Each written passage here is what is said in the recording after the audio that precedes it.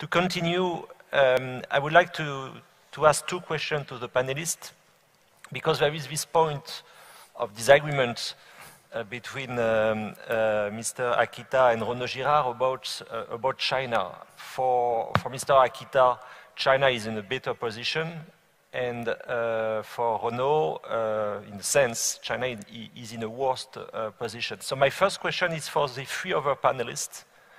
After AUKUS, how do you assess Chinese position? Is it better or is it, uh, is it uh, worse? So that's for, the, for, that's for my first question.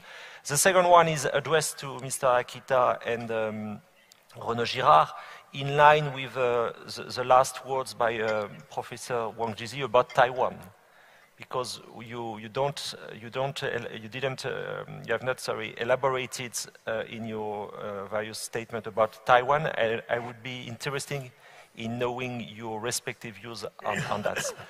so maybe to start with Ambassador Lee about uh, China position, um, what do you, how do you assess it? My opinion, I think there is no change for China it is a kind of anticipated path because the Biden stressed the importance of enlisting partners and allies in his combat against China even before he took office. So that is the way we anticipated, in a way to, to enlist uh, partners and allies. And uh, which is uh, interesting to me is the, the drastic change of United Kingdom's positions.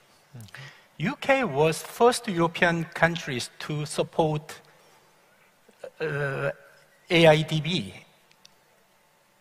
a month ahead of expression of support by France, Germany, and Italy.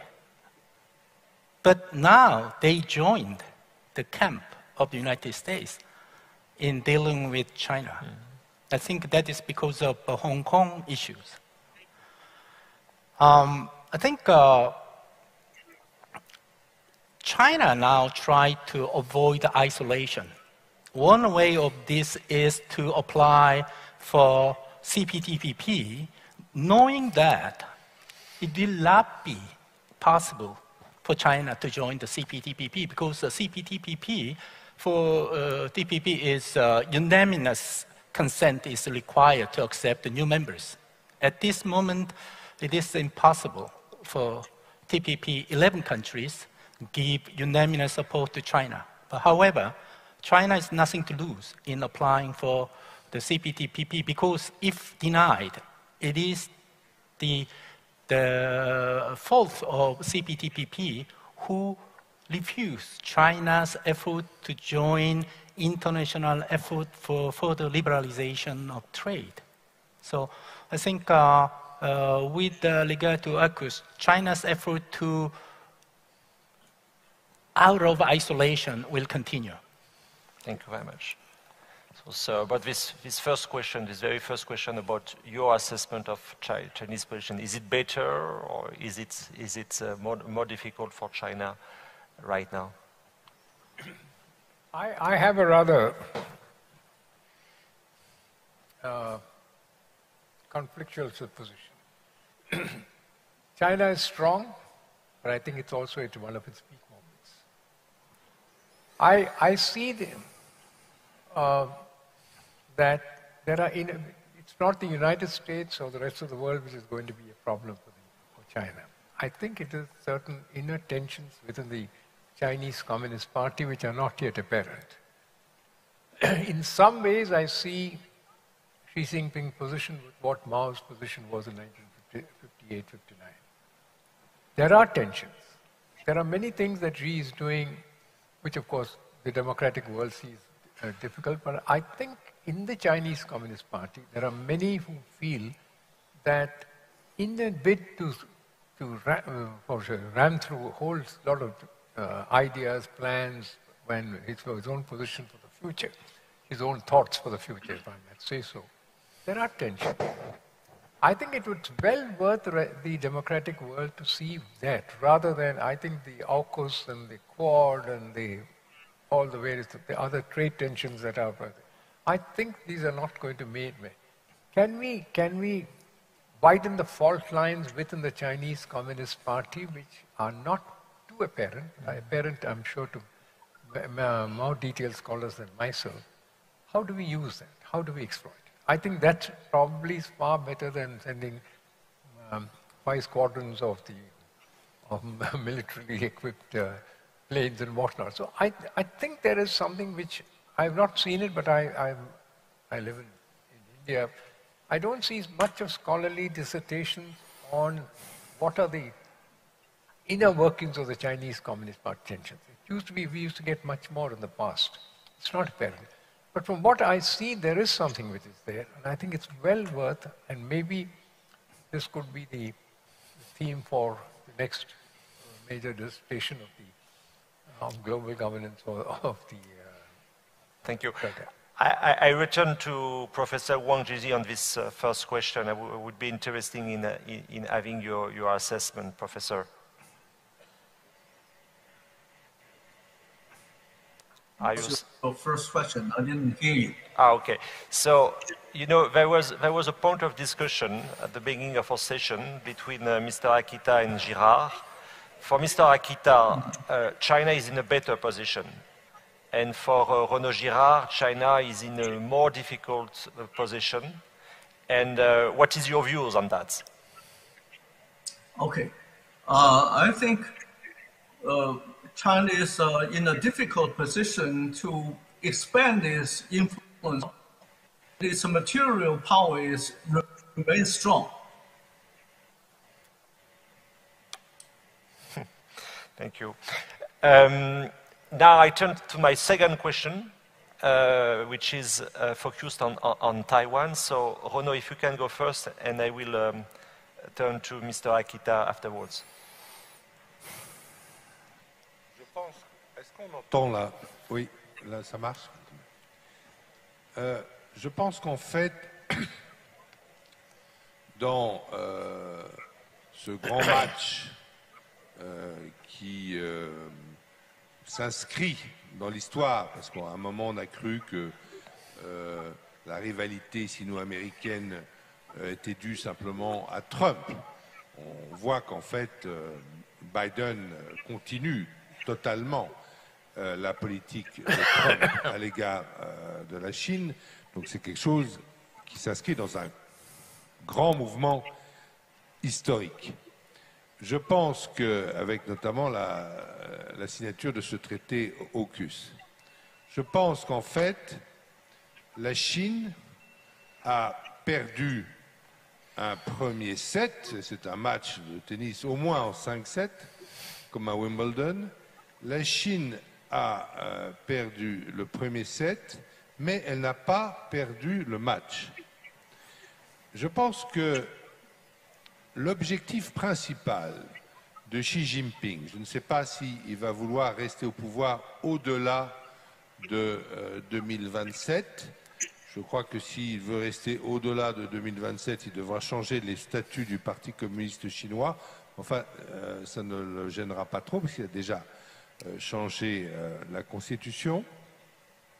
Mais je pense que son objectif principal, ce qu'il veut léguer à la Chine de son passage au pouvoir, c'est la récupération de Taïwan. Je pense que même ça frise chez lui à l'obsession, sinon ces euh, manœuvres aériennes ce viol assez fréquent de l'espace aérien taïwanais par les avions de chasse chinois n'aurait strictement aucun sens.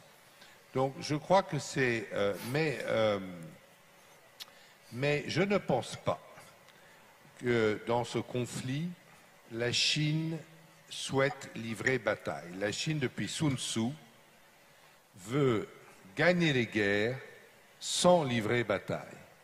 Donc je ne vois pas du tout une bataille de la guerre de Corail, une bataille de Midway pour euh, le contrôle de Taïwan. Je vois plutôt une stratégie euh, sur deux axes. Le premier axe est évidemment une cinquième colonne à l'intérieur de Taïwan grâce au parti Kuomintang, qui s'affaiblit euh, par rapport au parti de Mme Tsai, mais qui est quand même très présent. Je crois qu'il y a une vraie politique euh, de la Chine continentale à l'égard du parti euh, du Kuomintang à, à Taïwan. Et la deuxième politique, c'est effectivement c'est une politique de patience. Nous allons attendre, nous Chinois, que les Américains se lassent. Nous les avons vus se lasser en Indochine et finalement abandonner l'Indochine après être arrivés en Indochine vers 1955, comme le raconte le roman Un Américain bien tranquille. Ils sont partis en 1975, ils ont tout laissé. Ils se sont, nous Chinois, nous les avons vus euh, se lasser en Mésopotamie. On fait toute une intervention. Nous les avons vus se lasser euh, en Afghanistan. Euh, finalement, nous avons vu les Américains donner, après l'invasion de l'Irak, l'Irak à l'Iran, et puis nous, les remercions parce qu'ils ils viennent de nous donner sur un plateau d'argent l'Afghanistan, avec tous ses métaux rares et son lithium. Et ça va nous permettre à nous Chinois de faire notre route de la soie à travers l'Afghanistan. Donc, en fait, je pense que le calcul chinois, c'est simplement d'avoir une patience stratégique et d'attendre que les Américains, pour une raison ou pour une autre, qui peut être une raison de politique intérieure américaine, que les Américains se retirent et que donc les Taïwanais comprennent qu'ils n'ont pas d'autre choix que rejoindre euh, la Chine et négocier le maximum d'autonomie. Et c'est comme ça, je pense, que la Chine a envie euh, de, avec évidemment la construction d'une marine extrêmement forte pour intimider, avec la poursuite évidemment de la cyberguerre, parce que les Chinois font une cyberguerre permanente, pas seulement comme contre l'Australie en ce moment, mais aussi évidemment pour espionner en France et aux États-Unis, euh, la cyberguerre chez les Chinois est euh, permanente, mais c'est une stratégie de rapport de force.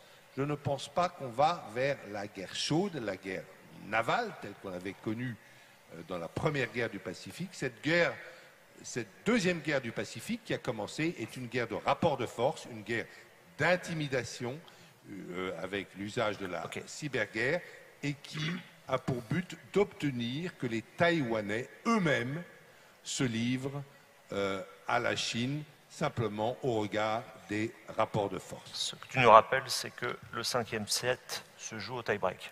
Voilà. euh, Mr. Akita, what, what are your views on, on Taiwan? Okay. Yeah, yeah, thank you very much.